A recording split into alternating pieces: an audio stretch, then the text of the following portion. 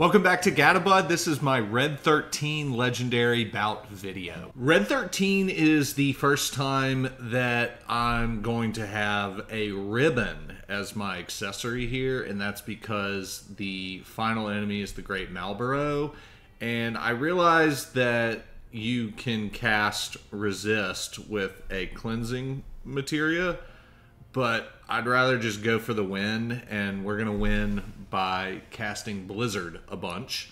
So this is a very Blizzard-centric build with MP Absorb, HP Absorb on Fire and Ice. I did HP on Fire and Ice. Um, Skill Master, I did do Time for Haste, ATB Stagger, Magic Up. Notice there's no HP or MP anywhere to be found.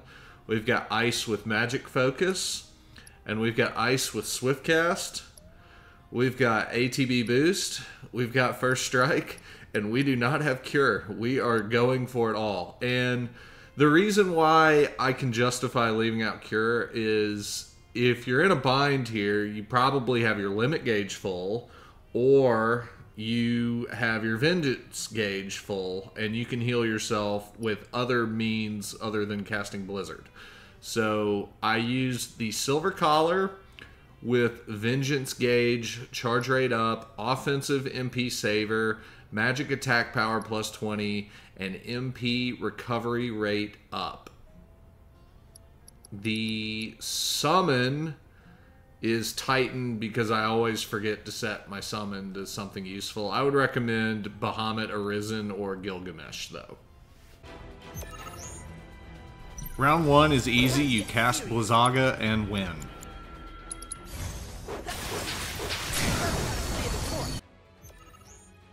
Round two is our one round where we have to use fire magic instead of ice, although we can sneak some ice magic in there, and that is why I have HP absorption on the fire and ice and not MP absorption. You shouldn't run out of MP doing this, and even if you get low, it's okay because you're going to get it back next battle. I always like to start my battles by casting Haste as my first act, and then try to get back up to 2 ATB, and then fire off magic spells as I am able to. We are not interested in healing, so we need to be smart and dodge his attacks. It's pretty predictable because most of them involve him charging at you, and eventually he's just going to get tired, and then you're going to have an opportunity to unload on him. The move that you want to pay attention for is called breather. That's when the process starts where you're going to get the win. As long as you don't get trucked waiting for breather, you're going to be fine. So just be patient and keep dodging.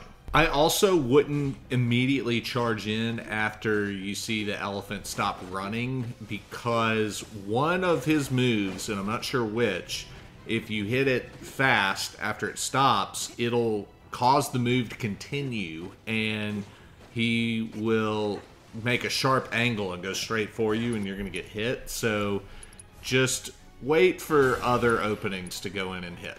He also has a couple ranged attacks using his nose that are pretty nasty. Um, other than them being gross, they're not really a threat to you as far as damage goes. Now he's finally using Breather. This is a win. Once this thing is staggered, I actually used Blizzaga here and did almost quad 9, so close enough because I wanted to get some MP back, and that is something I would recommend doing. We are on to round 3, incident free. Round 3 kind of stinks, I don't like it. Let's start right though. One thing that I think is really important is to use Chilling Roar as your second action, and the reason being is you will get hit some, and if you have a sloppy run like I do, it's going to result in getting your Vengeance gauge filled up just passively. So I definitely think you should do this to compensate for the possibility of laying a stinker like I'm about to do here. This frog isn't particularly difficult. It's just really annoying. And the most annoying thing is to try to time your Blizzagas with its tongue being out and having enough time to hit it with Blizzaga. And at the same time, you don't want to just sit there with full ATB waiting for it to happen because you're leaving damage on the table. So it's kind of a balancing act, and I don't think I did a great job on this round. Basically, that's how its pressure mechanic works. You want to target the tongue. Part of the reason why this was so sloppy is I was trying to experiment with guarding tongue attacks to see if that helped get it better exposed. And if it does, it involves doing a perfect guard and not just holding R1. So I kind of almost intentionally put myself in a bad situation for the sake of science. And I'm still able to squeak out a win here, which speaks to how forgiving this fight can be. Now, remember when I said use Chilling Roar? Because I was so sloppy and because I took so much damage, I now have a half full vengeance gauge for me to start mounting my comeback here. After Whirly Tongue, the frog's tongue hangs out for a little bit, and that's my opportunity to do a quick Blizzara and actually pressure it while I am in vengeance mode. Additionally, if you're going to use Blizzara and it's not when the tongue is out, I strongly recommend you exercise patience and only do it immediately after it has landed from using flatten. Therefore, you know you're not going to miss because you can miss a Blizzara. You can even miss a Blizzaga don't do it. And it's once I start following these rules and philosophies that you see me start to have success and not get hit too much. On this battle, if you just dodge flatten and then go in there and get a couple hits off or use that as your opportunity to cast Blizzara, you can win literally just attacking him during flattens. Where I got into trouble here was me trying to do too much and that got me in bad situations. Anyways, a win is a win, and I'm going to end up going to round four in just as good of shape as I would have if I had won this battle in, say, one minute. I'm going to be full MP, pretty high HP. Everything's fine. Just get past it.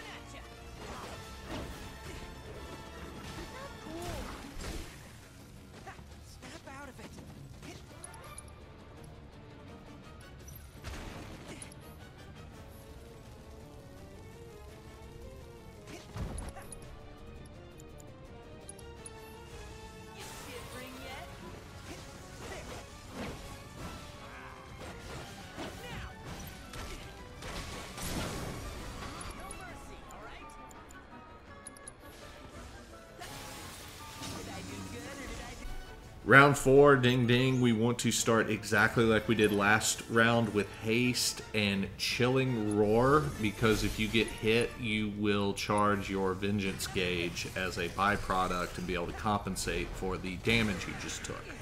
This enemy is very evasive, and its pressure mechanic makes it even more evasive, but able to be staggered more quickly.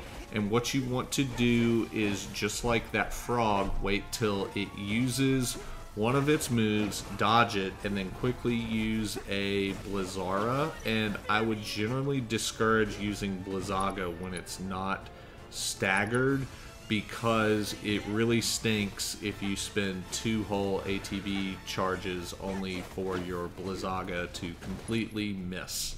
And trust me, you will have misses on this. It happens. It's okay. It's not going to doom you. The good news is this thing gets staggered very, very, very quickly, and that's your opportunity to unload Blizzagas and get your health full and everything else. Honestly, this is a way easier battle than round three was. Just be smart about it and don't miss on your spells. And the reason why I said don't try to Blizzaga when he's not staggered, you're going to see me straight up whiff on a Blizzaga when I felt like I was doing a good job using it while he's doing a move. The problem is the move is over and he still will move very quickly to get out of the way. So, oof. One thing that I tried here that I would not recommend you do is I used Red's level 1 limit while it was staggered. And in hindsight, I would have been better off casting even two Blizzaras than I would have been using that limit. So don't do that either. Learn from my mistakes. After the second stagger, the enemy is left with a small amount of health left, and you just keep doing exactly what you've been doing, and you're going to get the win. I will see you in round five.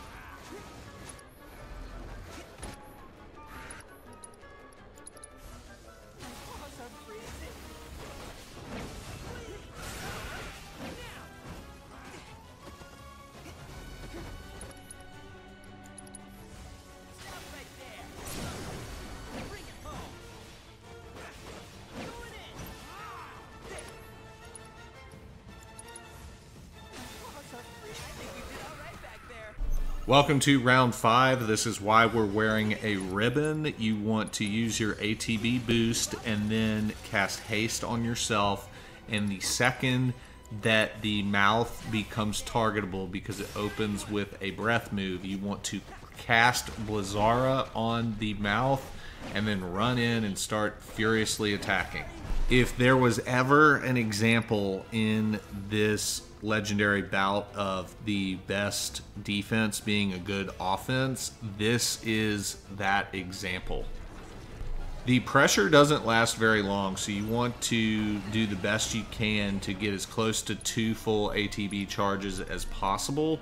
When you see pressure wear off, you can give it the business for about three or four more seconds and then you need to get out of the way fast. At long range, its only threat is Biora or Bioga, whatever that is. Um, but you have Ribbon, so you don't get poisoned, but the actual spell itself will do about a thousand damage.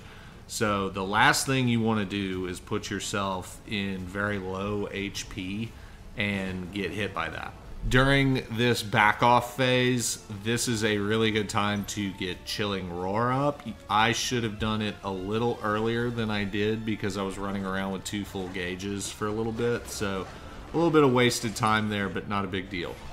What we're doing here is waiting for it to start using a breath move again, and then we want to run in and get behind it and be ready to cast Blizzara very promptly once that mouth appears. Now, I personally lost track of time here a little bit, but after that Blizzara, and you've pressured it, this is a terrific opportunity to use ATB boost and then fire off a quick Blizzaga. And that should have this thing staggered at this point if you hit while still pressured. I left it with like 5% left on its stagger gauge though.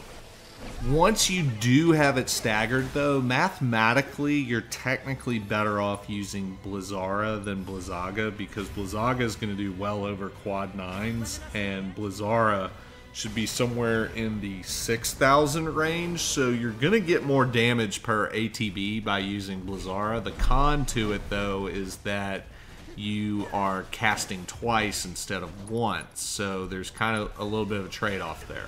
I do think there's a lot of value in exiting Stagger with at least one full ATB charge ready to go, just in case it uses breath or you need to reapply haste. And also, again, try to keep track of time and use ATB boost wisely because there are lots of opportunities to put yourself in a way better position by going from one to two charges at a strategic moment. Again, I have no idea why I had Titan equipped. I just forgot to change it, and that shows how much I use red. The fact that Titan was equipped to red. I do manage to get a pressure Blizzaga off, and that staggered it quickly. That's a win. Not too bad for a round five and I want to congratulate you on being one step closer to platinum.